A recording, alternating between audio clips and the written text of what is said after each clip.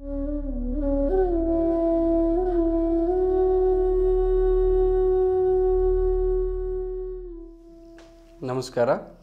February ಎರಡು ಸಾವಿರದ ಇಪ್ಪತ್ತು ಮೀನರಾಶಿಯವರಿಗೆ ಹೇಗಿರುತ್ತೆ ಅಂತ ನೋಡೋಣ. ಮೊದಲಿಗೆ ಗೋಚಾರ. ಶುಕ್ರ ಮತ್ತು ಬುಧ ಹನ್ನೆರಡರಲ್ಲಿದ್ದಾರೆ. ರವಿ ಮತ್ತು ಶನಿ ಹನ್ನೊಂದರಲ್ಲಿದ್ದಾರೆ. ಗುರು ಮತ್ತು ಕೇತು ಹತ್ತರಲ್ಲಿ, ಕುಜ ಒಂಬತ್ತರಲ್ಲಿ ಮತ್ತು ರಾಹು ನಾಲ್ಕರಲ್ಲಿರ್ತಾರೆ ಸೊ ಪಾಸಿಟಿವ್ ಸೈನ್ಸ್ ಏನು ಹೇಳಬೇಕು ಅಂತಂದರೆ, ರವಿ, ಶನಿ ಮತ್ತು ಶುಕ್ರ. ಒಳ್ಳೆ ಏನಂತಲ್ಲ ಸ್ಟ್ರಾಂಗ್ ಪೊಸಿಷನಲ್ಲಿದ್ದಾರೆ ಆಮೇಲೆ ಈ ಬುಧ ಕೇತು, ಗುರು, ರಾಹು ಮತ್ತು ಕುಜ. ಇವರು ಅಷ್ಟೊಂದು ಅನುಕೂಲಕರವಾಗಿ ಇಲ್ಲ. ಸೊ ಏನಾಗುತ್ತೆ ಅಂತಂದರೆ ಸ್ಯಾಟನ್ ಬೇಸಿಕ್ಲಿ ಅಂದರೆ, ಶನಿ ಇವಾಗ ನೀವು ಒಳ್ಳೆಯ ಸ್ಥಾನಕ್ಕೆ ಮೂವ್ ಆಗಿದ್ದಾನೆ. ಓಕೆ ಸೊ ಏನಾಗುತ್ತೆ ಅಂತಂದರೆ ಹತ್ತರಿಂದ ಹನ್ನೊಂದಕ್ಕೆ ಬಂದಿದ್ದೇನೆ. ಸೊ ಅದರಿಂದ ನಿಮಗೆ ಲಾಭ ಜಾಸ್ತಿ.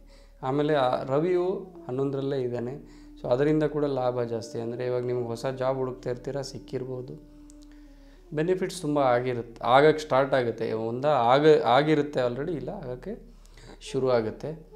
ಸೊ ಒಳ್ಳೆ ಗೇನ್ಸ್ ಬರುವ ಸಮಯ. ಅಂದರೆ ಒಳ್ಳೆ ಲಾಭ ಬರುತ್ತೆ ಈ ಟೈಮಲ್ಲಿ. ಬಟ್ ಅಲ್ಲೊಂದು ಇಲ್ಲೊಂದು ಸ್ವಲ್ಪ ಕಷ್ಟಕರ ವಾತಾವರಣ ಇರಬಹುದು. ಆವಾಗ ಒಂಚೂರು, ತುಂಬ ಜಾಸ್ತಿ ಏನಿಲ್ಲ. ಸ್ವಲ್ಪ ಡಿಲೇಸು ಅಬ್ಸ್ಟೇಕಲ್ಸು ಕಾಣಿಸ್ಕೊಳ್ಬೋದು ಆವಾಗವಾಗ. ಆವಾಗ ಓಕೆ ಒಂದು ತಿಂಗಳಲ್ಲಿ ಒಂದು ಎರಡು ಸನ್ನಿವೇಶಗಳು ಆ ಥರ ಬರ್ಬೋದು. ರೋಗಗಳು ಸ್ವಲ್ಪ ಹೆಲ್ತ್ ವೈಸ್ ಆಲ್ಸೋ ಸ್ವಲ್ಪ ಕಮ್ಮಿ ಆಗ್ಬೋದು. ಆಮೇಲೆ ಮೆಂಟಲ್ ಪೀಸು ಇರದೇ ಇರ್ಬೋದು. ಸೊ ಓವರಾಲ್ ನೋಡಬೇಕಂದ್ರೆ ಈ ಥರ ಇರುತ್ತೆ ಈ ಮಂತ್ ಇವಾಗ ಹೆಲ್ತ್ ನೋಡೋಣ ಹೇಗಿರುತ್ತೆ. ನೀವು ನಿಮ್ಮ ನೀಸ್ ನೀಸ್ ಅಂದರೆ ಮಂಡಿ ಮತ್ತು ನಿಮ್ಮ ಕಾಲುಗಳ ಬಗ್ಗೆ ಸ್ವಲ್ಪ ಕಾಳಜಿ ವಹಿಸಬೇಕು. ಅಂದರೆ ಇನ್ಫ್ಲಮೇಷನ್ ಆಗೋ ಚಾನ್ಸ್ ಇರುತ್ತೆ, ಇಲ್ಲ ಪ್ರಾಬ್ಲಮ್ ಆಗೋ ಚಾನ್ಸ್ ಇರುತ್ತೆ. ಡೈಜೆಷನ್ ಸ್ವಲ್ಪ ವೀಕ್ ಆಗಿರ್ಬೋದು. ಆಮೇಲೆ ಈ ಇನ್ಫೆಕ್ಷನ್ ಆಗೋ ಚಾನ್ಸ್ ಇರುತ್ತೆ ಕಾಲಲ್ಲಿ ಬೇಸಿಕ್ಲಿ ಸೊ ಅದನ್ನು ಸ್ವಲ್ಪ ನೀವು ನೋಡಿಕೊಳ್ಳಿ. ಆಮೇಲೆ ಮೆಂಟಲ್ ಪೀಸು ಸ್ವಲ್ಪ ಡಿಸ್ಟರ್ಬ್ ಆಗುವ ಸಾಧ್ಯತೆ ಇದೆ. ಸೊ ವ್ಯಥಾ ಚಿಂತೆ ಮಾಡಬೇಡಿ. ಎಲ್ಲ ಒಳ್ಳೆಯದೇ ಇರುತ್ತೆ ಒಳ್ಳೆಯದೇ ಆಗುತ್ತೆ. ಕರಿಯರಲ್ಲಿ ನೋಡೋಣ ಹೇಗಿರುತ್ತೆ. ಹೊಸ ಜಾಬ್ ಸಿಗೋ ಚಾನ್ಸ್ ಇದೆ. ಹೊಸ ಹೊಸ ಪೊಸಿಷನ್ನು ಹೊಸ ಜಾಬು ಇಲ್ಲ, ಇರೋ ಜಾಬಲ್ಲೇ ಪ್ರಮೋಷನ್ನು ಈ ಥರ ಚಾನ್ಸಸ್ ಇದೆ.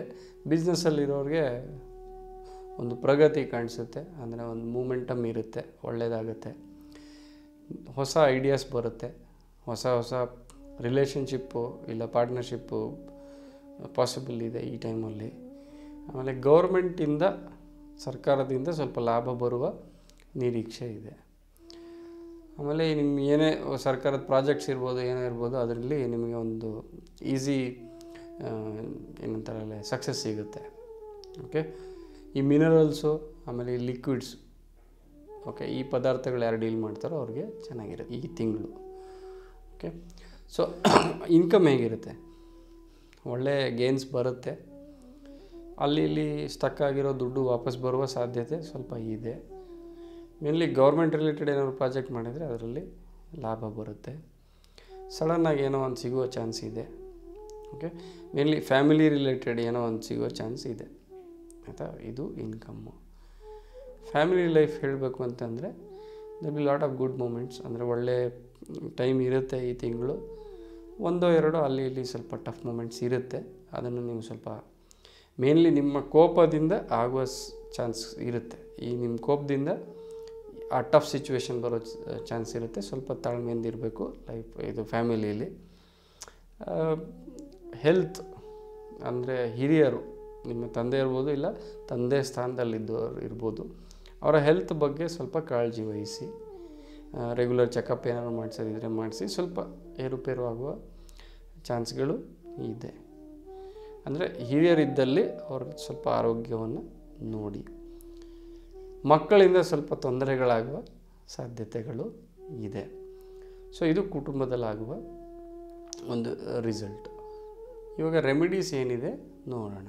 ರೆಮಿಡೀಸ್ ಏನು ಮಾಡಬೇಕು ಅಂದರೆ ನೀವು ಕೇಸರಿ, ಈ ಸ್ಯಾಫ್ರನ್ ಅಂತೀವಿ.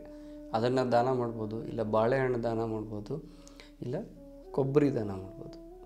ತೆಂಗಿನಕಾಯಿ ಇರ್ಬೋದು, ಇಲ್ಲ ಕೊಬ್ಬರಿ ಇರ್ಬೋದು, ಅದನ್ನು ದಾನ ಮಾಡ್ಬೋದು.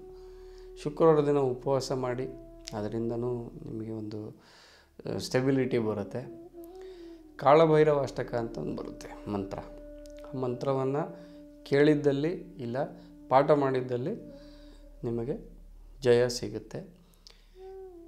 ಆಮೇಲೆ ಪ್ರಾಣಾಯಾಮ ಮಾಡೋದ್ರಿಂದ ಕೂಡ ಒಳ್ಳೆಯ ಸ್ಟೆಬಿಲಿಟಿ ಬರುತ್ತೆ ಲೈಫಲ್ಲಿ ಇದು ಒಂಥರ ಇದೊಂದು ಉಪಾಯ. ಪ್ರಾಣಾಯಾಮ ಅನ್ನೋದು ಒಂದು ಸುಲಭ ಉಪಾಯ ನಿಮಗೆ. ನೀವು ನಿಮ್ಮ ದಿನನಿತ್ಯದ ಕಾರ್ಯಗಳಲ್ಲಿ ಇದನ್ನು ಅಳವಡಿಸ್ಕೊಂಡ್ರೆ ಒಂದು ಆಟೋಮೆಟಿಕ್ ರೆಮಿಡಿಯಾಗಿ ವರ್ಕ್ ಆಗುತ್ತೆ ಇದು. ಯಾವ ಟೈಮ್ ಇರಲಿ, ಯಾವುದೇ ಗ್ರಹ ಸ್ಥಿತಿ ಇರಲಿ, ಸ್ವಲ್ಪ ಅನುಕೂಲಕರ ವಾತಾವರಣ ಇದು ಸೃಷ್ಟಿಸುತ್ತೆ. ಆಮೇಲೆ ನಿಮಗೆ ಶಕ್ತಿ ಇದ್ದರೆ ಇಲ್ಲ ಅನುಕೂಲವಾದರೆ ಓಕೆ ಇಚ್ಛೆ ಇದ್ದರೆ ರುದ್ರಾಭಿಷೇಕವನ್ನು ಕೂಡ ಮಾಡಿಸ್ಕೊಳ್ಬೋದು ಒಳ್ಳೆಯದಾಗುತ್ತೆ ನಿಮ್ಮೆಲ್ಲರಿಗೂ ಶುಭವಾಗಲಿ.